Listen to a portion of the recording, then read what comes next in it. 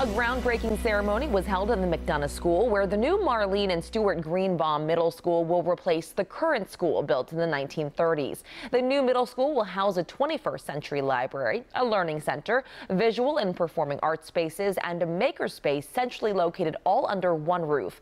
It costs about 25 million and should open in 18 months.